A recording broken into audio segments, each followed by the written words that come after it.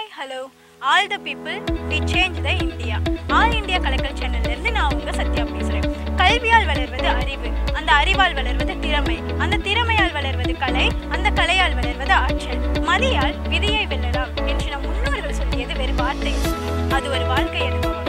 So இதுலேருந்தே தெரிஞ்சிருக்கும் இன்னைக்கு நம்ம என்ன டாபிக் பற்றி பார்க்க போகிறோம் எஸ் எஜுகேஷன்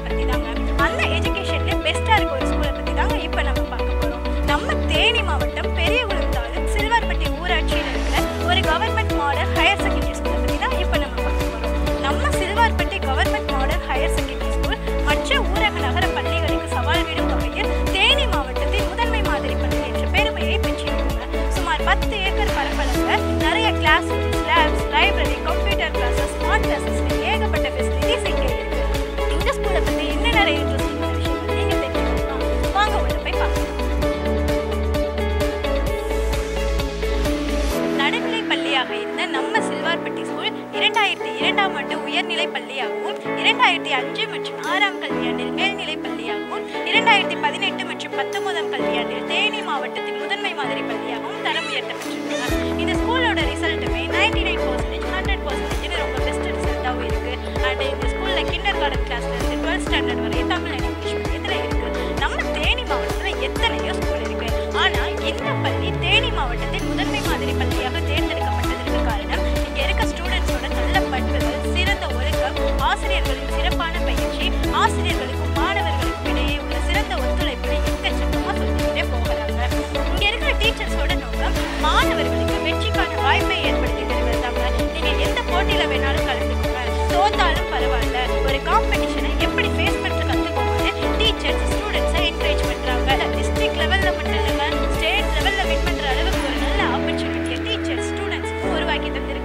இரண்டாயிரத்தி பதினெட்டு மற்றும் பத்தொன்பதாம் கல்வியாண்டில் கலை அறிவியல் போட்டி அப்படின்ற ஒரு காம்படிஷன் நம்ம ஸ்டேட் லெவலில் நடந்துச்சு. அதுல தேனி டிஸ்ட்ரிக்ட் மட்டும் பன்னெண்டு ப்ரைஸை வின் பண்ணிச்சுங்க. அதுல ஃபர்ஸ்ட் மூணு பிரைஸையும்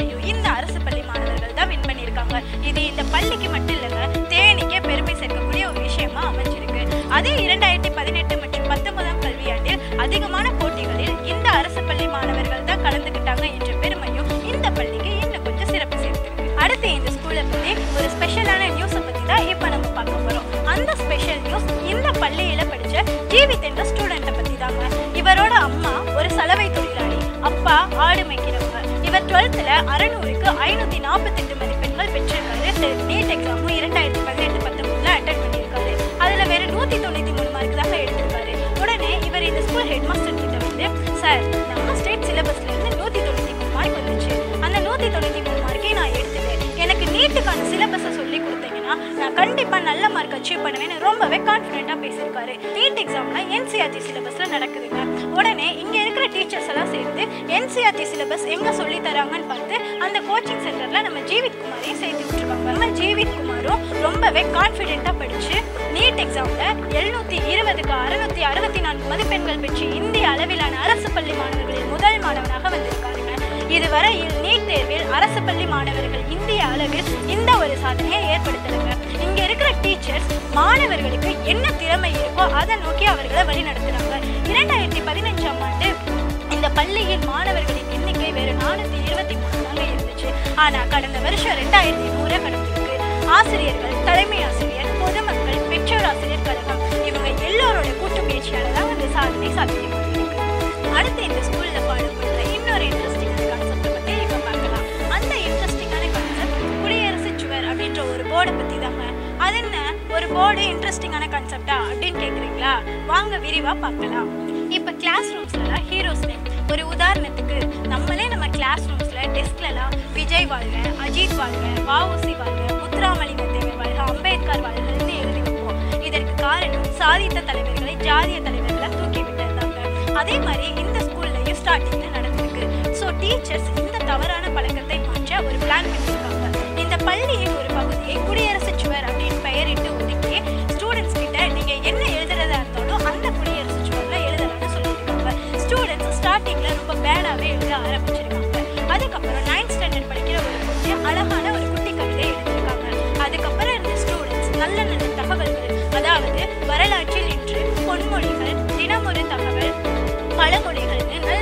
இன்ஃபர்மேஷன்ஸாக எழுத ஆரம்பிச்சிருக்காங்க. அப்புறம் என்னங்க? ஸ்டூடெண்ட்ஸே ஒவ்வொரு தலைவர்கள் பிறந்த நாள் அன்னைக்கும் அவர்களை பற்றி சிறப்பாக பேசி ஒரு விழாவை கொண்டாடிருக்காங்க இந்த பள்ளியில் ஒரு மாணவன் மிகவும் படிப்பில் பின்தங்கிய நிலையில் இருந்திருக்காரு. அவர் இந்த குடியரசு சுவரில் ஒரு நாள் அழகான ஒரு ஓவியம் வரைஞ்சிருக்காருங்க அதுக்கப்புறம் தான் தெரிஞ்சிருக்கு அந்த மாணவனுக்கு ஓவியம் வரைகிற இன்னொரு அழகான திறமையே இருக்குது. அந்த மாணவனை ஓவிய போட்டியிலே சேர்த்து விட்டுருக்காங்க. அவரும் இன்னைக்கு டிஸ்ட்ரிக்ட் லெவலில் டிராயிங் போட்டியில் ஃபர்ஸ்ட் ப்ரைஸும் வின் பண்ணி அடுத்து இந்த ஸ்கூல்ல ஃபாலோ பண்ற இன்னொரு சுவாரஸ்யமான தலைப்பை பற்றி இப்ப நம்ம பார்க்கலாம். அந்த சுவாரஸ்யமான தலைப்பு ஸ்டூடெண்ட்ஸ் அசம்பிளி அதாவது மாணவ பாராளுமன்றம். இப்ப இருக்கிற ஜென்ரேஷன் கிட்ட அரசியல் பற்றி சரியான புரிதலே இல்லைங்க. இப்ப இருக்கிற இளைஞர்கள் கிட்ட போய் நீங்க என்னவாக போறீங்கன்னு கேட்டா நான் டாக்டர் ஆக போறேன் என்ஜினியர் ஆக போறேன் டீச்சர் ஆக போறேன் ரொம்ப பெருமையா சொல்லுவாங்க. ஆனா நான் அரசியல்வாதியாக போறேன்னு சொல்ல யாருக்குமே விருப்பம் அரசியல்னாலே ஏதோ ஒரு சாக்கடை. அதாவது நான் அரசியல்வாதியாக போறேனால ஏதோ கெட்டவனாக போறேன்ற அளவுக்கு ஒரு மைண்ட் செட் இப்ப இருக்கிற ஜென்ரேஷன் கிட்ட இருக்கு. அரசியலை பற்றி இந்த தவறான ஒரு விழிப்புணர்வை மாற்றதாங்க இந்த மாணவ பாராளுமன்றம். அரசியல்னா என்ன? நம்ம சர்வீஸ் பண்ணணும். அதாவது எந்த ஒரு எதிர்பார்ப்பும் இல்லாமல் மக்களுக்கு நல்ல சேவைகளை செய்யணும். அரசியல் பற்றிய இந்த ஒரு நல்ல கருத்தை ஸ்டூடெண்ட்ஸ் கிட்ட இருந்தே கொண்டு வராங்க இந்த அரசு பள்ளி ஆசிரியர்கள். ஒவ்வொரு வருஷம் ஜூன் மாதம் மூன்றாவது வாரம் மாணவ அமைச்சரவை தேர்தல் அப்படின்ற ஒரு தேர்தலை இந்த பள்ளியில நடத்துறாங்க. ஸோ ஜூன் ரெண்டாவது வாரமே எலெக்ஷன்ல நிற்கக்கூடிய அந்த ஸ்டூடெண்ட் டெய்லி மார்னிங் ப்ரேயர்ல நான் இந்த பள்ளியின் அமைச்சரானால் என்னென்ன பண்ணுவேன்? இந்த பள்ளியோட பிரதம மந்திரியானால் இந்த பள்ளிக்கு என்னென்ன வாக்காளர் படிவம் வாக்குப்பதிவு நாள் நாமினேஷன் தாக்கல் செய்கிற நாள் வாக்கு சேகரிப்புன்னு ஒரு ப்ராப்பரான எலெக்ஷன் எப்படி நடக்குமோ அதே மாதிரி இந்த பள்ளியில் ஃபாலோ பண்ணுறாங்க தேர்தல் அதிகாரியாக ஒரு ஆசிரியரையும் நியமிச்சு ஸ்டூடெண்ட்ஸை ஓட் போட வச்சு அடுத்த நாள் ஓட் ரிசல்ட்டையும் அறிவிச்சு ஒரு தேர்தல் திருவிழாவாக கொண்டாடுறாங்க. இந்த ஸ்கூலில் ஸ்டூடெண்ட்ஸுக்கு இல்லை எந்த பிரச்சனையாக இருந்தாலும் இல்லை இந்த ஸ்கூலில் நடக்கிற எந்த ஃபங்க்ஷன் அதாவது டீச்சர்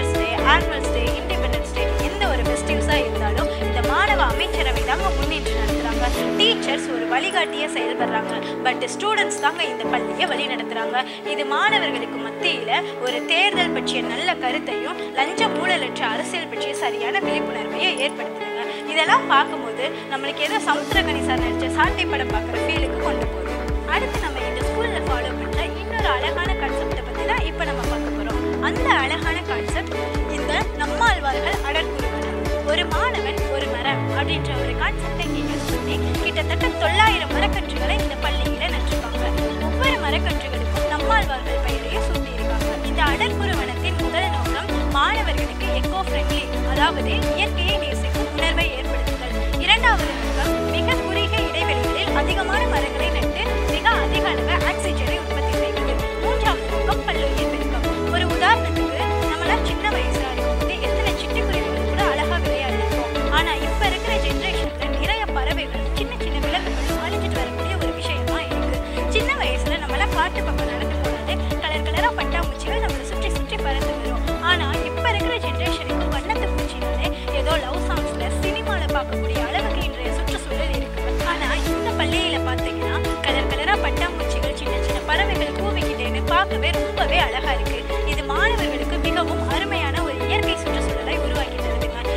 ஆசிரியர்கள் மாணவர்களை குழந்தை பருவத்திலிருந்தே ஒரு இயற்கையை நேசிக்கும் தன்னார்வல தொண்டர்களாக உருவாக்குறாங்க.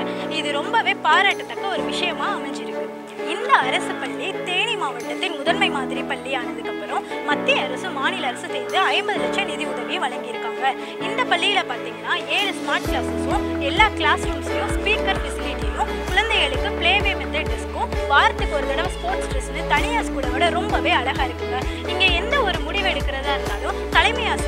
ஆசிரியர்கள் தனிப்பட்ட முறையில் எடுக்கிறது ஸ்டூடெண்ட்ஸோட கருத்துக்கு ஏற்பவும் செயல்படுறாங்க. இங்க ஸ்டூடெண்ட்ஸுமே ஹெட் மாஸ்டருக்கு நிர்வாக ரீதியா ரொம்பவும் சப்போர்ட்டிவா இருக்காங்க. இந்த அரசு பள்ளியில தேசிய பசுமை படை மாணவர்கள் விதைப்பந்து தயாரிக்கும் முயற்சியிலையும் ஈடுபட்டிருக்காங்க. இயற்கை உரங்கள் மக்கும் கழிவுகள் வண்டல் மண் கரிசல் மண் மற்றும் புளிய மரத்து விதை புங்க மரத்து விதை வேப்ப மரத்து விதை போன்ற விதைகளை கொண்டு கிட்டத்தட்ட பதினஞ்சாயிரம் விதைப்பந்துகளை உருவாக்கி இருக்காங்க. இந்த விதைப்பந்துகளை மழைக்காலம் தொடங்குறதுக்கு முன்னரே இப்போ ஸ்டூடெண்ட்ஸ் எல்லாம் வீட்டுக்கு ஸ்கூல் வீட்டுக்கு கிளம்பும்போது ஒவ்வொரு மாணவன் கையிலையும் அஞ்சஞ்சு விதைப்பந்துகளை கொடுக்குறாங்க. அந்த மாணவர்கள் அந்த விதைப்பந்துகளை தரிசு நிலங்கள் மற்றும் ஈரப்பதமான நிலங்கள்ல நட்டு வைக்கிறாங்க. நம்ம சுதந்திரம் வாங்குறப்ப நம்ம இந்தியாவில் முப்பத்தி மூணு சதவீதம் காடுகள் இருந்துச்சுங்க.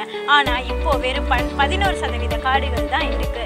அதுலேயும் ரெண்டு சதவீத காடுகளை தேவையற்ற தாவரங்கள் ஆக்கிரமிச்சிருச்சுங்க. நம்ம வருங்கால தலைமுறையினருக்கு தண்ணீர் என்ற ஒரு விஷயம் சவாலாக இருக்கக்கூடாதுன்னா நம்ம இந்த ஒரு வருஷத்துல பன்னெண்டு சதவீதம் காடுகளை உருவாக்கணுங்க. இந்த அரசு பள்ளி மாணவர்கள் இந்த சில்வார்பட்டி கிராமத்தை பசுமையான கிராமமா உருவாக்குற முயற்சியில ஈடுபட்டிருக்காங்க. இங்க இருக்கிற மாணவர்கள் விதைப்பந்துகளை வைத்து ஒரு அழகான பசுமையான செழிப்பான ஒரு பூமி பந்தை உருவாக்குறாங்க. ஒரு தடவை தேனி கலெக்டர் ஆஃபீஸ்ல பள்ளி கல்வி வளர்ச்சி நாளன்னைக்கு ஒரு மீட்டிங் அரேஞ்ச் பண்ணியிருக்காங்க. அந்த மீட்டிங்க்கு வர பார்வையாளர்களுக்கு இந்த அரசு பள்ளி சார்பாக விதைப்பந்துகளை வழங்கியிருக்காங்க. நம்ம எப்படி தீபாவளியை வெடியோட கொண்டாடுறோமோ இந்த அரசு பள்ளி மாணவர்கள் செடியோட கொண்டாடுறாங்க. ஒவ்வொரு தீபாவளி அன்னைக்கும் அவங்க வீட்டில் ஏதாவது ஒரு செடி ஒரு உதாரணத்துக்கு துளசி செடியை கூட நட்டு வச்சு அதை ஃபோட்டோ எடுத்து இங்கே இருக்கிற டீச்சர்ஸ்களுக்கு அனுப்புகிறாங்க ஸோ இந்த மாணவர்கள் எப்படி இந்த பூமியை பசுமையாக மாற்ற முயற்சி செய்கிறாங்களோ இனிமேல் நம்மளும் நம்மளால் முடிஞ்ச அளவு ஒரு மரக்கன்றையாவது நட்டு இந்த பூமியை செழிப்பான ஒரு பூமியாக மாற்றும் முயற்சியில் இருக்கும் லேட்டாக வர ஸ்டூடெண்ட்ஸுக்கு மாணவ அமைச்சரவை கொடுக்குற பனிஷ்மெண்ட் என்ன? கேட்டிங்கன்னா இங்க இருக்கிற ஒவ்வொரு மரக்கன்றுகளுக்கும் தண்ணீர் ஊற்றுவது அடுத்து இந்த ஸ்கூலை பற்றி இன்னொரு புதுமையான விஷயத்தையும் பார்த்துக்கலாங்க அந்த புதுமையான விஷயம் என்னன்னு கேட்குறீங்களா ஹானஸ்ட் ஷாப் அதாவது நேர்மை என்றாடி இப்ப இருக்கிற சுச்சுவேஷன்லேயே நேர்மையா இருக்கிற ஒருத்தவங்கள பார்த்தா இவையெல்லாம் எங்க பொழைக்க போறியா இவையெல்லாம் எங்க வாழ்க்கையில முன்னேற போறியா அப்படின்னு கமெண்ட் பண்ணுவோம் ஆனா இங்க இருக்கிற ஆசிரியர்கள் குழந்தை பருவத்திலிருந்தே மாணவர்களை நேர்மையான ஒரு மனிதர்களாக உருவாக்குறாங்க. அது எப்படி நேர்மையான மனிதர்களாக உருவாக்குறாங்கன்னு வாங்க விரிவாக பார்க்கலாம். இந்த பள்ளியின் ஒரு வகுப்பறையை ஒதுக்கி அதுக்கு நேர்மை அங்காடின்னு பெயர் சூட்டியிருக்காங்க நம்ம அரசு பள்ளி ஆசிரியர்கள். அந்த நேர்மை அங்காடியில் குழந்தைகளுக்கான healthy eatable items and stationery ஐட்டம்ஸை வாங்கியும் வச்சிருக்காங்க. அந்த ஒவ்வொரு பொருட்களுக்கும் தேவையான விலைப்பட்டியலையும் அங்கே ஒட்டியிருக்காங்க. இப்போ ஸ்டூடெண்ட்ஸ் தங்களுக்கு தேவையான பொருட்களை அந்த அங்காடியில் போய் உரிய பணத்தை செலுத்தி எடுத்துக்கிறாங்க. இந்த நேர்மை அங்காடியில் ஆசிரியர்களோ அல்லது மாணவர்களோ யாருமே இருக்க மாட்டாங்க. ஸ்டூடெண்ட்ஸ் அவங்களுக்கு தேவையான பொருட்களை அவங்களே எடுத்துக்கிட்டு உரிய பணத்தை செலுத்திடுவாங்க. இந்த திட்டத்தில் ஸ்டார்டிங்கில் முந்நூறு நானூறு பணப்பற்றாக்குறை இருந்துக்கிட்டே வந்திருக்குங்க. ஆனால் கடைசியில் போக போக போக போக இந்த பற்றாக்குறைகள் சரியாகி ஸ்டூடெண்ட்ஸ் கரெக்டான பணத்தை செலுத்த ஆரம்பிச்சிருவாங்க. இதனால என்ன யூஸ் அப்படின்னு கேட்குறீங்களா இப்போ வேற யாராவது இருந்தால் ஒரு பொருள் இருக்குது ஆனால் அந்த இடத்துல யாருமே இல்லை அப்படின்னா நம்ம தெரியாமல் எடுத்துட்டு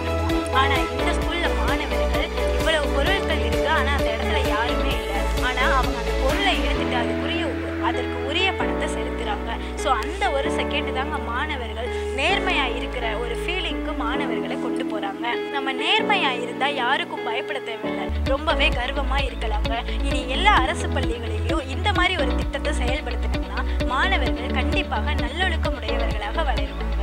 இந்த ஸ்கூலை இவ்வளவு சூப்பரா வழிநடத்துற இந்த அரசு பள்ளி தலைமை ஆசிரியரிடம் ஒரு சில மணித்துளிகள் பேசலாம். வாங்க.